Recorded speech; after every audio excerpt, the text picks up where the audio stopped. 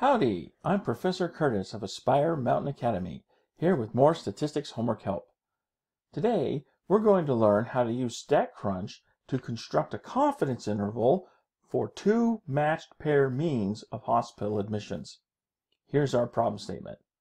Data on the numbers of hospital admissions resulting from motor vehicle crashes are given below for Fridays on the 6th of a month and Fridays on the following 13th of the same month.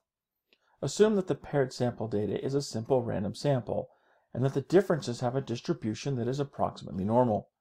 Construct a 95% confidence interval estimate of the mean of the population of differences between hospital admissions. Use the confidence interval to test the claim that when the 13th day of a month falls on a Friday, the numbers of hospital admissions for motor vehicle crashes are not affected. Okay, here we have our data, and here we have the first part of our problem asking us to construct a confidence interval. To do this, I'm going to dump the data into StatCrunch.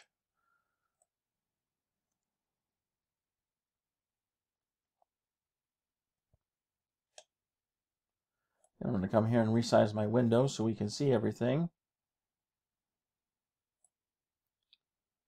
Great. Now I'm going to construct my confidence interval on the data that was given.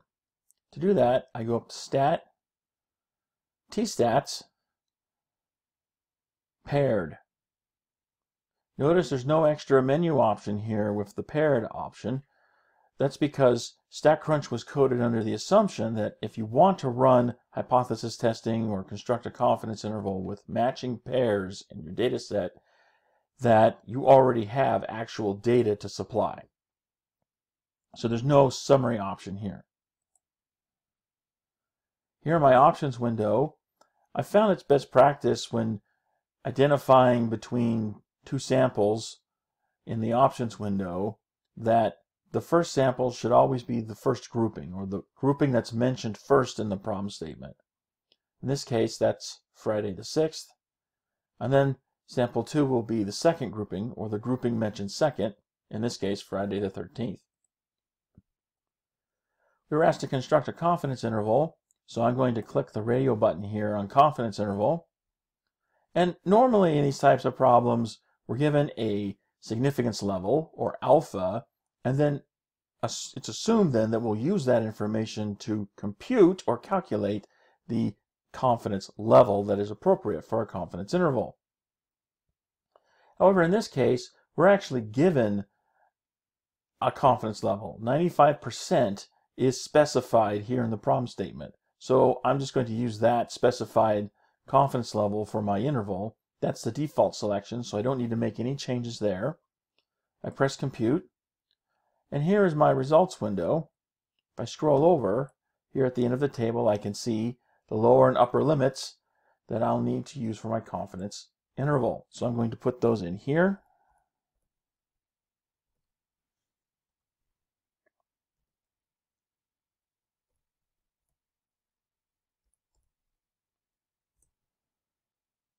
Good job! Now, the second part of the problem asks us to interpret the confidence interval with respect to the claim. The value that we want to check for in our confidence interval is going to be zero. If there's no difference between the two samples, or between the sample means rather, then zero should be inside the confidence interval. And if zero is inside the confidence interval, that means it's potentially the value of the mean difference between the two means. If the difference between the means is zero, that means that the means are the same, and so there's no real difference between the two groupings. However, if zero is not inside the confidence interval, then that means there is some difference between the groupings, and that means one of those groupings is going to have a greater mean value than the other. And which one of those two groupings it is depends on which side of the confidence interval zero appears, whether it's to the left or to the right. Here we're simply asked about the claim. So we check to see if zero is inside our confidence interval. Here's our confidence interval, and zero is not inside the confidence interval. That means there is going to be some difference between the means. So the claim that just because of you know the hospital admissions falls on the 13th day of a month, which is a Friday, and that therefore the motor vehicle crashes are not affected. Well, the the number of hospital admissions is affected because there's some difference there between the mean values. If they weren't affected, then that would mean that the mean value difference would be zero. But it's not zero because zero is not inside the confidence interval. Therefore, there is some difference. And so we we can't we can actually reject the claim that they're not affected because we have statistical evidence that they are affected. So among the answer options given here, I want to select this one.